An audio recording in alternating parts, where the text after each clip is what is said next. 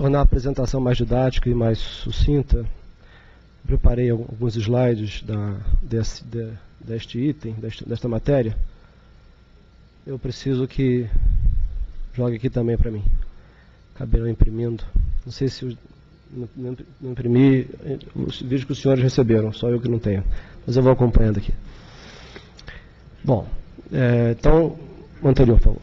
É, esse processo é um pedido de anuência prévia para a operação de cisão de uma sociedade empresarial italiana, denominada Telco SPA, que é detentora é, de uma parcela expressiva do capital é, social da Telecom Itália SPA.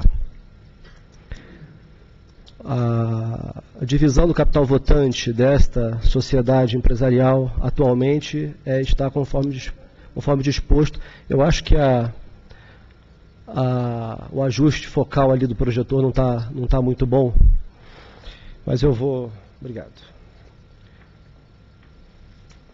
Eu vou esclarecendo aqui para os, os participar, para a audiência. Então,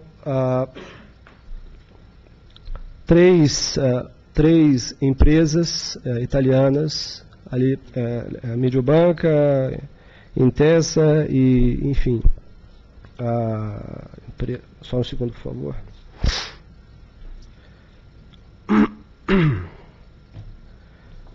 A Mediobanca, a Intesa e a Assicurazione Generale, né, ali representadas à direita, na parte superior do organograma, é, são acionistas em, de, é, e, e uma, detêm uma parcela também expressiva do capital votante da Telco SA, ao lado da Telefônica SA, empresa matriz da Telefônica, do, Telefônica Brasil SA. A Telefônica, é, é, empresa espanhola, possui um total de 46,18% é, do capital votante da Telco, da, da Telco SPA. E numa, numa, num processo de 2007, o Conselho Diretor decidiu restringir os direitos políticos da Telefônica na Telco em, em função de aspectos regulatórios e concorrenciais associados às operações do Grupo Telefônica e do Grupo, do Grupo Telecom Itália no Brasil.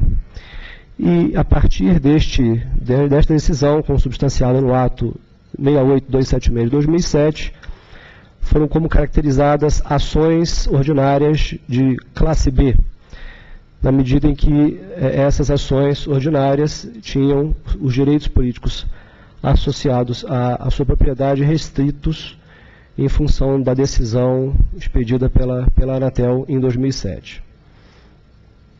Por favor, o próximo. Então, essa é a situação atual. Em setembro de 2013, foi realizado um aumento do capital social da Telco, inteiramente subscrito e integralizado pela Telefônica.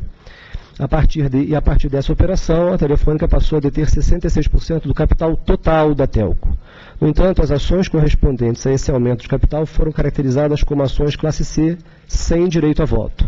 Portanto, embora isso seja um fato relevante, principalmente para essa operação, para esse pedido agora, que, que será analisado pelo Conselho, é preciso destacar que ficou mantida a participação de 46,18% é, é, que já a Telefônica já detinha no capital votante da Telco. Isso não foi alterado por esse aumento de capital totalmente, inteiramente subscrito e integralizado pela Telefônica em setembro de 2013. A Telefônica passou a ter o, o direito, a partir de janeiro desse ano, de, de exercer a, a, conversão dessas ações em ações com direito a voto embora não tenha feito até o presente momento. Seguinte, por favor. Qual é a operação pretendida que sujeita à anuência prévia da, da agência? A cisão da Telco com, consequente, com consequente rateio dos seus ativos, dos ativos dos seus ativos entre os acionistas, esses que eu acabei de mencionar, acionistas da Telco, na proporção de suas participações no capital total da sociedade, o que compreende as ações ordinárias da Telecom Itália de propriedade da Telco no montante de 22,39%. Trata-se, portanto, de uma reorganização societária interna ao Grupo Telecom Itália. Não haverá retirada, substituição ou entrada de novos controladores no grupo.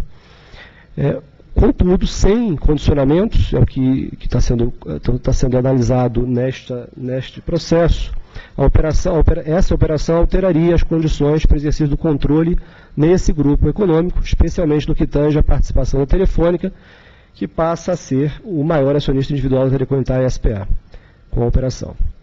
Por favor, o próximo.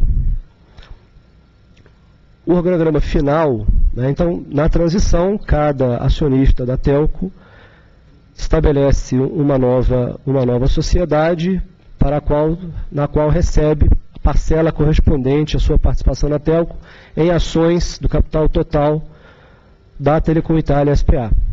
Então, as, as empresas Newco, ali representadas abaixo de cada acionista, atual acionista da Telco, passam a subscrever aquelas respectivos percentuais do capital votante da, da Telecom Itália. Né? Então, é, é, é, de se notar que a Telefônica é, SA, empresa espanhola, passa a ter 14,77% do capital de capital votante na Telecom Itália. Por favor, o próximo. Então, qual é o contexto desse pedido de anuência? Primeiro, o que dispõe o regulamento de apuração de controle de transferência de controle entre emprestadoras, é o regulamento aprovado pela Resolução 101, notadamente o artigo 6 inciso 1 A finalidade aqui da, da, da análise da, do estabelecimento de condicionamentos a essa, a essa anuência é limitar o exercício de controle pela Telefônica SA sobre decisões referentes à exploração de serviços de telecomunicações por grupos concorrentes no Brasil. Obviamente, a Anatel não cabe disciplinar o exercício do, do, do, da sua situação, da situação de acionista da Telefônica em qualquer, em qualquer grupo mundo afora, a não ser que esta, esta participação tenha influência direta sobre as decisões de investimento e de posicionamento estratégico das respectivas subsidiárias brasileiras, respectivas operações brasileiras. Então, a finalidade aqui não é, no meu, no meu entendimento, determinar a participação, o, o, o, total apropriado de participação acionária da Telefônica no capital total da Telecom Itália. Mas sim, independente do montante que após um conjunto de operações anunciadas já pela Telefônica, vá, a, a, a Telefônica vai manter ainda no capital da Telecom Itália, independente de qual seja, que esta participação acionária não resulte em a, a distorções do processo competitivo no Brasil. Então, é, para mim, é um limite sobre o exercício de controle e não uma a, averiguação do montante adequado de participação societária em grupos estrangeiros de, de, que operam no setor de telecom. Esse processo é conexo com aquele que avalia pedido de anuência para aquisição da GVT pela Telefônica Brasil, ali está incompleto, mas eu explico. É, a, a, o processo que será relatado a, a, seguir de aquisição da GVT pela Telefônica Brasil é uma operação em duas etapas. Na segunda etapa haverá uma, uma, permuta de ações e para que essa permuta de ações é, seja possível, embora essa segunda etapa não seja apreciada, não seja apreciada no, em processos já analisados, já submetidos ao Conselho, essa permuta só acontecerá quando a Telefônica detiver ações diretamente no capital da Telecom Itália. Então há essa conexão e, e em razão dessa conexão, é, o Conselho decidiu na reunião passada tratar os, distribuir os processos, torná-los conexos e distribuir a relatoria de ambos para o mesmo conselheiro. O próximo, por favor. Então, dado esse contexto, qual é o remédio regulatório proposto? Basicamente pela área técnica, analisado já pela Procuradoria, e que, em, em grande parte, tirar a parte de algumas questões específicas que eu vou mencionar aqui, eu estou acolhendo. Trata-se, então, da suspensão integral dos direitos políticos associados às ações ordinárias da Telecom Itália de propriedade da Telefônica S.A. O objetivo, então, é fazer com que a Telefônica, não obstante sua relevante participação no capital votante da Telecom Itália, assuma a posição equivalente à de um acionista sem direito a voto. Eu vou detalhar essa questão mais à frente, mas eu, eu deixo de acompanhar né, a proposta, que como eu já, já mencionei um, essa questão aqui há, há pouco, eu deixo de acompanhar a proposta que determina a extinção de qualquer participação societária da Telefônica na Telecom Itália, por entender se tratar de restrição desnecessária à liberdade de, de movimentação de investimentos. Então, como disse, independente de qual seja a participação final da Telefônica na, no capital da Telecom Itália, é, 2, 1, 5, é, 4%. O importante, se, a, se, se o investimento é, na Telecom Itália gera retornos interessantes, não há porquê, não há porquê, a meu ver, restringir excessivamente a possibilidade de, de grupos, mesmo com operação operações conflitantes no Brasil, fazer e manter algum nível de investimento. O que é importante é sobre essa participação acionária, é que ela não seja traduzida em é, poder político capaz de é, distorcer a, o nível competitivo no mercado brasileiro. Isso não dispensa. Tinha sustentação oral desse, desse, desse, desse voto? A, é, a exposição? Eu, tô, eu, tô, eu já estava entrando, o Conselho Mexer me lembrou uhum. aqui bem, já tinha completamente esquecido da existência de, de manifestação oral. Né? Não tem. Então, tem. É, acho vai, que eu continue aqui. o voto depois, né? Não, não. Obrigado, Mexer. Bom, é, por ordem então, nós temos dois inscritos na, para a manifestação oral e por ordem de solicitação. É, doutor Elinor Cristóforo Cotati, representante da empresa Tim Brasil. Me desculpa se eu falei errado o nome. E Marcos Paulo, Dr. Marcos Paulo Veríssimo, representante da empresa Telefônica do Brasil SA. Doutor Elinor, por favor. 15 minutos, doutora.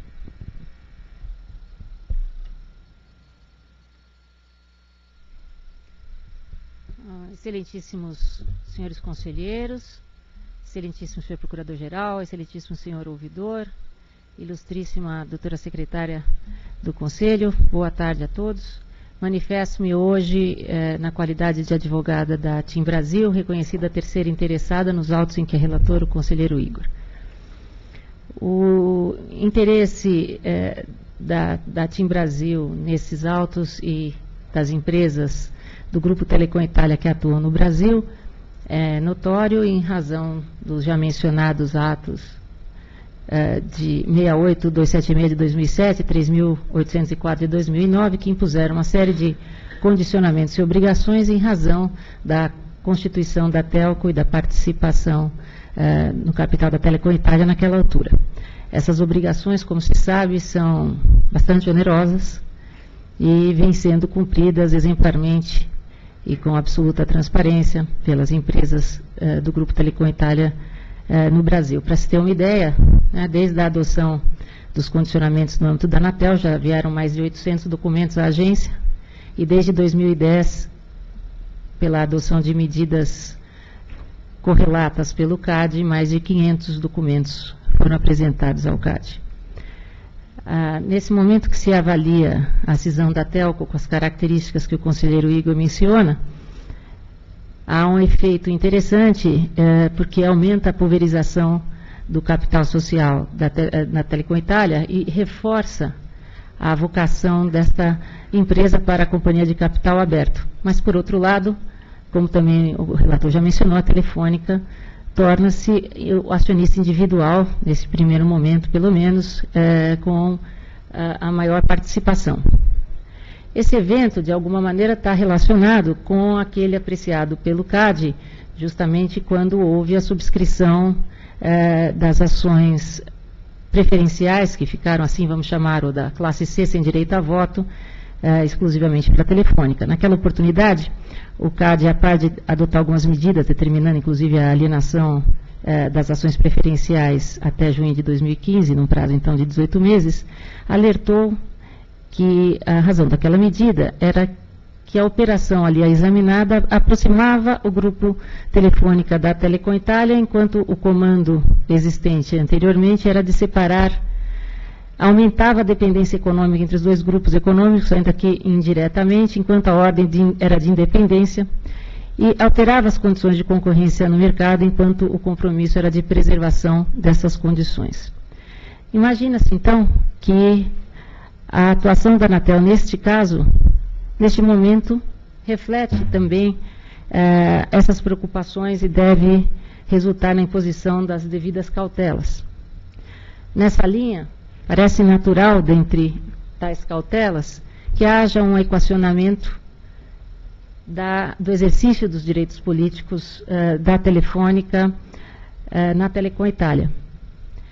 E este equacionamento de exercício de direitos pode levar à perda de objeto de vários dos condicionamentos impostos pela agência nesses atos anteriores que mencionamos. É, o que se entende, então, é que a decisão que será hoje proferida pelo Conselho Diretor da agência, caso venha nessa linha uh, que imaginamos seria seguida, deveria também já trazer em seu bojo a revisão destes atos e a racionalização para este novo cenário, para esse novo contexto dos compromissos que oneram muitíssimo as empresas do Grupo Telecom Itália que atuam uh, no Brasil, racionalizando a atuação das empresas do Grupo Telecom Itália e o cumprimento das inúmeras obrigações, como, por exemplo, a obrigação de fazer uh, pautas separadas para reuniões de conselho de administração. Uh, mantidos completamente independentes.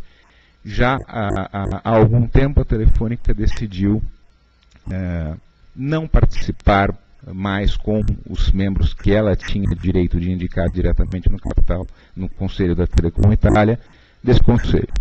Portanto, já de algum tempo, a Telefônica está afastada eh, da governança da Telecom Itália, mesmo em nível global. Eh, e as, eh, os condicionamentos sugeridos pela área técnica, que aparentemente serão seguidos por esse egrégio conselho, vão exatamente nesse mesmo sentido. Né? Quer dizer, a grande diferença em relação aos condicionamentos de 2007 para os que estão sendo propostos agora, é que em 2007 a proposta era manter separados os negócios brasileiros. Portanto, eu tinha, do ponto de vista da telefônica, direitos políticos condicionados. É? A telefônica era detentora de direitos políticos diferentes, condicionados na Telecom Itália. E isso, evidentemente, gerava a necessidade de monitorar se essa diferenciação vinha sendo acompanhada, o que sempre aconteceu, mas de fato coloca ônus para a agência e para as partes. A proposta que está sendo colocada agora é de eliminar qualquer tipo de direito político da Telefônica na Telecom Itália. Portanto, ela não será detentora de direitos políticos especiais. Ela simplesmente terá todos os seus direitos políticos excluídos se for acolhida a proposta é, da área técnica. Isso, como colocado pelo conselheiro relator, torna a Telecom Itália um acionista sem direito, a, a Telefônica, me perdoem, a, um acionista sem direito a voto na Telecom Itália. E se assim for a decisão dessa agência, qualquer tipo é, de preocupação concorrencial fica automaticamente é, afastada, concorrencial ou regulatória. É? A Telefônica se tornaria um acionista sem direito a voto na Telecom Itália. É, é bem verdade, como mencionou a, é, a, a, colega que me antecedeu, que isso em tese simplificaria é, e tornaria desnecessários muitos dos condicionamentos de 2007. Por exemplo, aqueles ligados ao acompanhamento de quem são as pessoas indicadas pela telefônica para os conselhos, porque ninguém mais será indicado quais são as reuniões de que participam essas pessoas e o que é discutido nelas, porque ninguém participará de reunião nenhuma, é, e como se dá é, o exercício do direito de voto da telefônica na, é, nas assembleias da Telecom Itália, porque não haverá mais exercício de direito de voto de espécie nenhuma, nem voto, nem veto.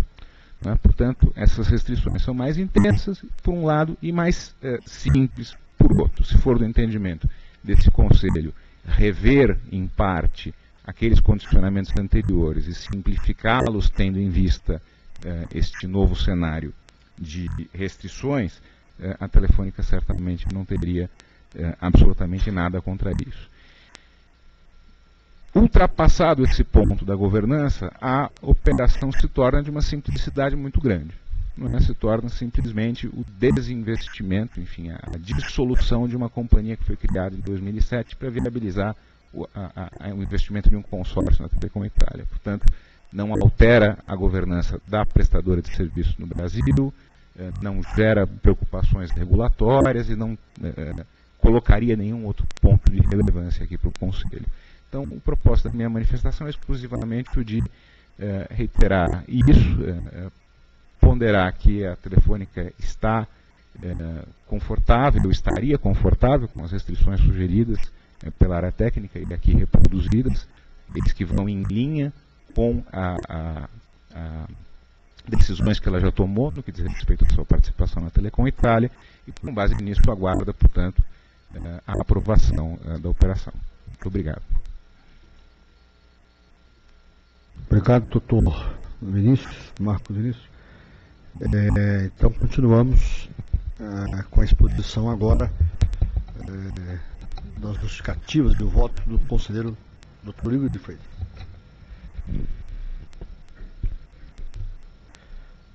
Vamos, vamos, peço que a gente retorne ao ponto da apresentação anterior. A partir daí a gente possa apresentar. Então,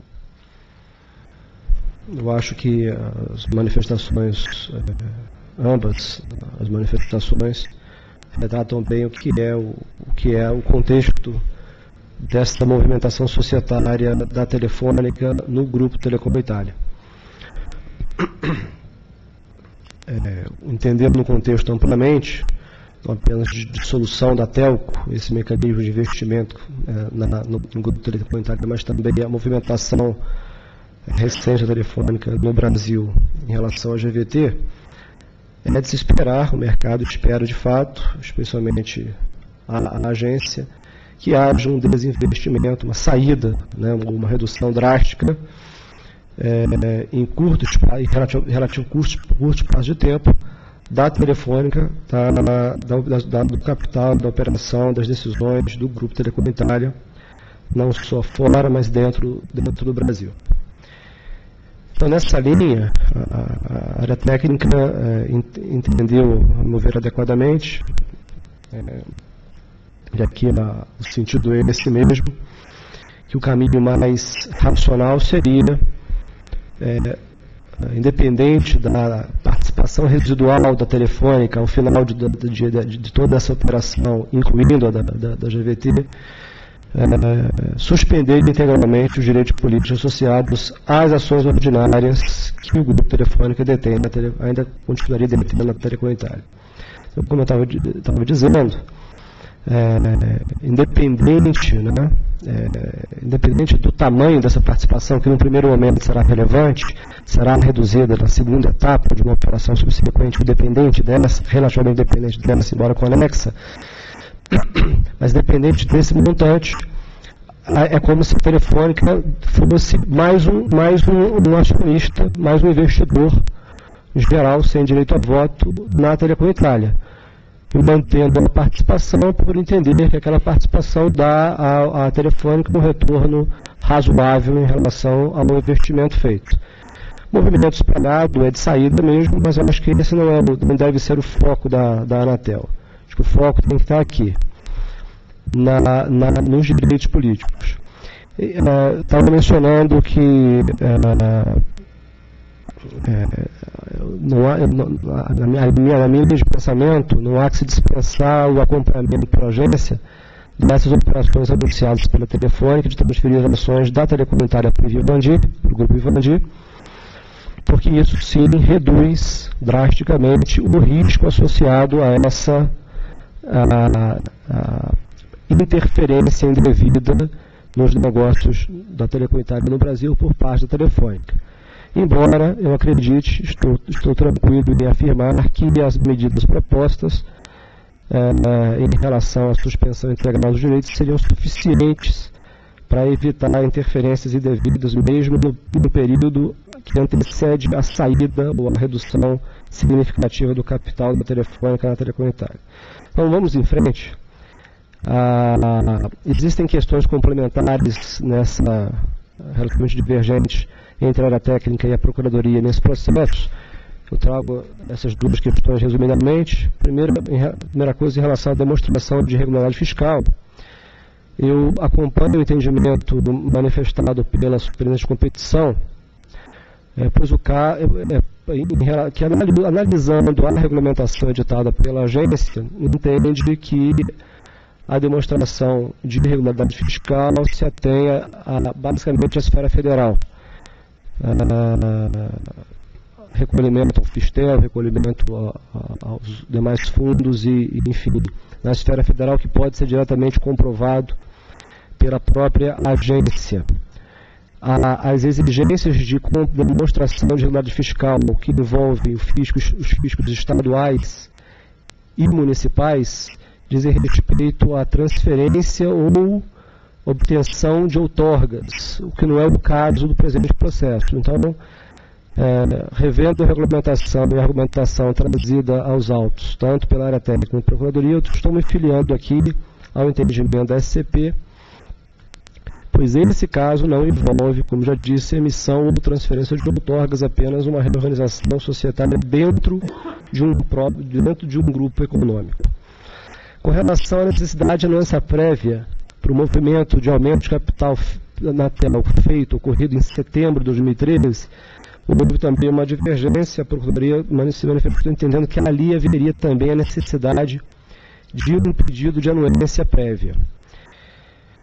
É, eu, aqui novamente eu me filio ao entendimento da SCP, porque essa, esse pedido de anuência, esse condicionamento antecipado, essa aprovação antecipada da agência teria sido necessário se a Telefônica, em algum momento desse ano, tivesse exercido o seu direito de conversão. Obrigado, doutor Vinícius, Marcos Vinícius.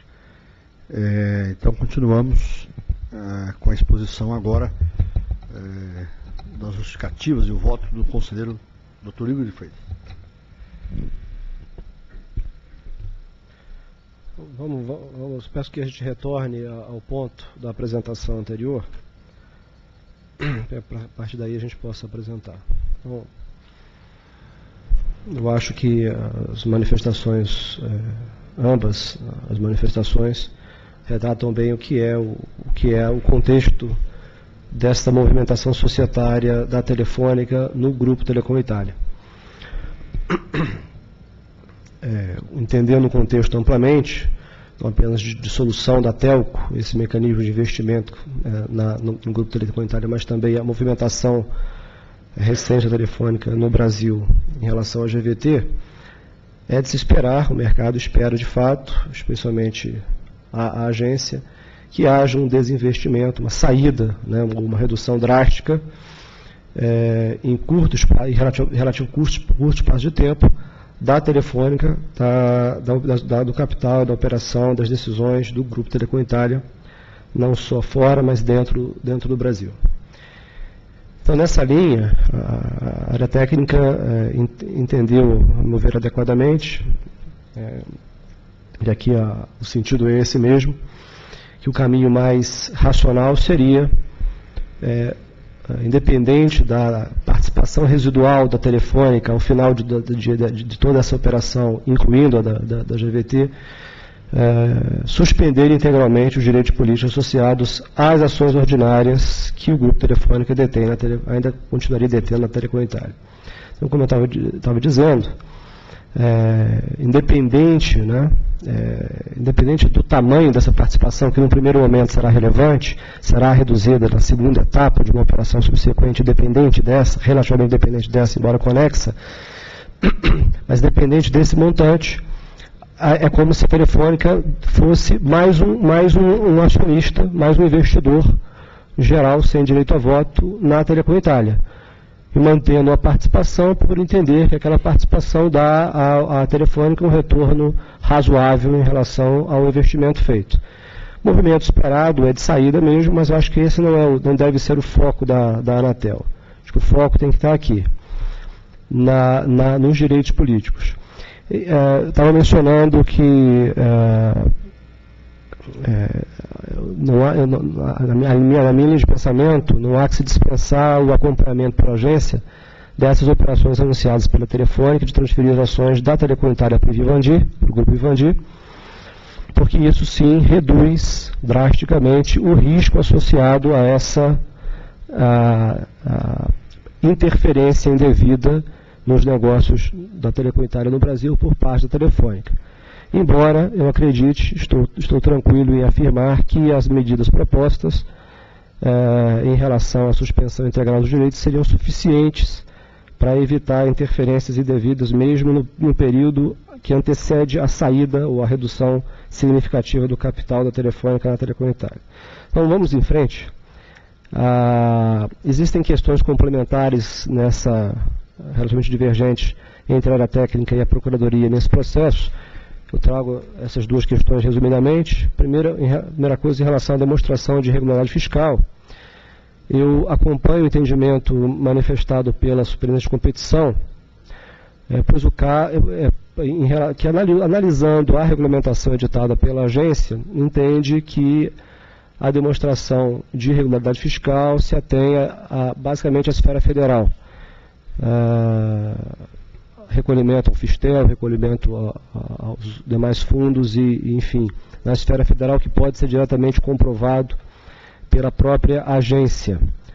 as exigências de demonstração de regularidade fiscal que envolvem os fiscos estaduais e municipais dizem respeito à transferência ou obtenção de outorgas, o que não é o caso do presente processo. Então, é, revendo a regulamentação e a argumentação trazida aos autos, tanto pela área técnica e Procuradoria, eu estou me filiando aqui ao entendimento da SCP, pois esse caso não envolve, como já disse, emissão ou transferência de outorgas, apenas uma reorganização societária dentro de um, dentro de um grupo econômico.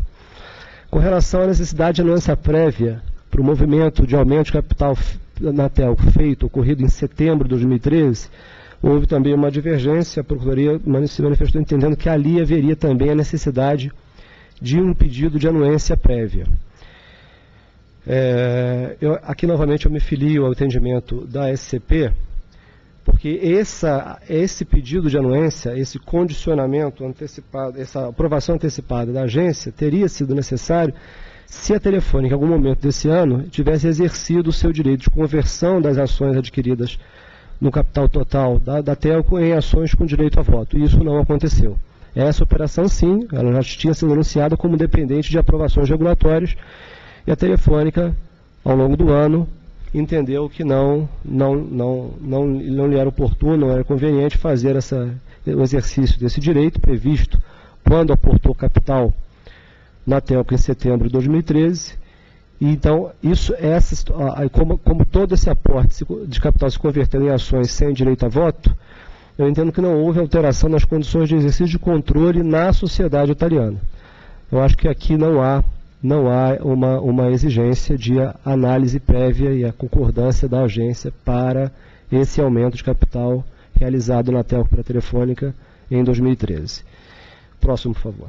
Então, indo direto para, para as conclusões, o que é a minha análise deste, deste processo, eu entendo que não há por que não concedermos anuência prévia para a cisão dessa sociedade, Telco SPA, desde condicionada à suspensão de todos os direitos políticos da Telefônica SA, na Telecom Itália SPA, bem como nas sociedades controladas pela Telecom Itália SPA, ou seja, no grupo como um todo, incluindo, obviamente, a TIM Celular SA e a Interlig Telecomunicações Limitada, que são as duas principais operações no Brasil do grupo Telecom Itália.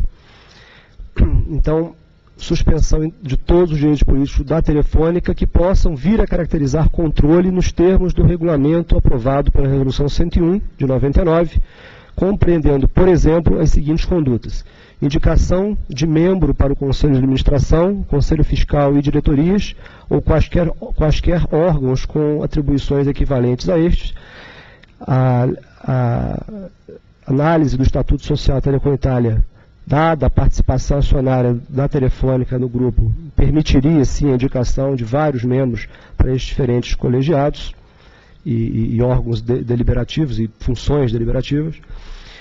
Outro exemplo, direito de voto e veto por parte da Telefônica SA nas assembleias da Telecom Itália e de suas coligadas, incluindo a prestadora TIM Celular SA Intelig, ou em qualquer fórum decisório da Telecom Itália SPA com atribuição equivalente.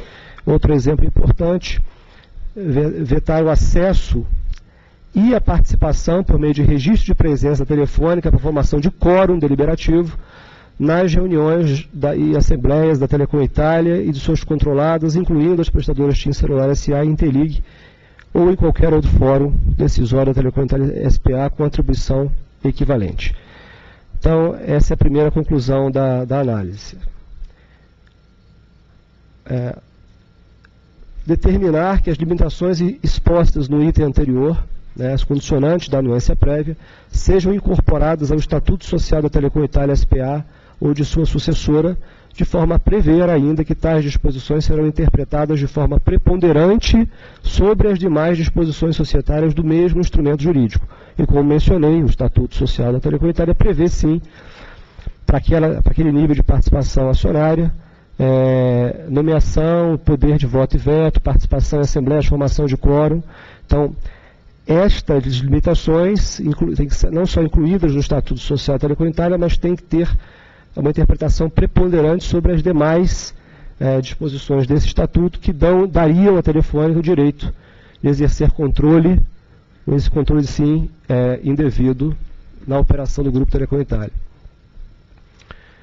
Esclarecer, item C, esclarecer que as restrições constantes do item A devem prevalecer enquanto a Telefônica SA for acionista da Telecom Itália, independentemente da quantidade de ações ou até que se desfaçam as situações de controle vedado identificadas nos presentes autos, dando aquela liberdade para participações residuais da Telefônica como investidor qualquer sem direito a voto. É, esclarecer determinar que no prazo de 60 dias seja submetido à Anatel versão atualizada do Estatuto Social da Telecom Itália SPA para verificação do cumprimento da determinação do item B. Item E, esclarecer que os efeitos do presente, da presente decisão estão condicionados à comprovação da regularidade fiscal das prestadoras envolvidas, mediante a apresentação das certidões comprobatórias exigidas pela regulamentação editada pela Anatel, que tem, de acordo com a interpretação uh, dada há pouco. Determinar que a presente anuência valerá pelo prazo de 180 dias, contado a partir da data de publicação do ato de concessão de anuência no Diário Oficial, renovável uma vez por igual período se mantidas as mesmas condições societárias, determinar aos interessados que cópia autenticada da documentação referente à operação objeto deste processo administrativo seja encaminhada Anatel no prazo de 60 dias, contados da, da, da, a partir da data de registro no órgão competente, por fim, revogar os atos 68276 de 2007 e 3804 de 2009, com efeitos a partir da publicação do ato de concessão de anuência prévia no Diário Oficial da União. É como eu considero, presidente.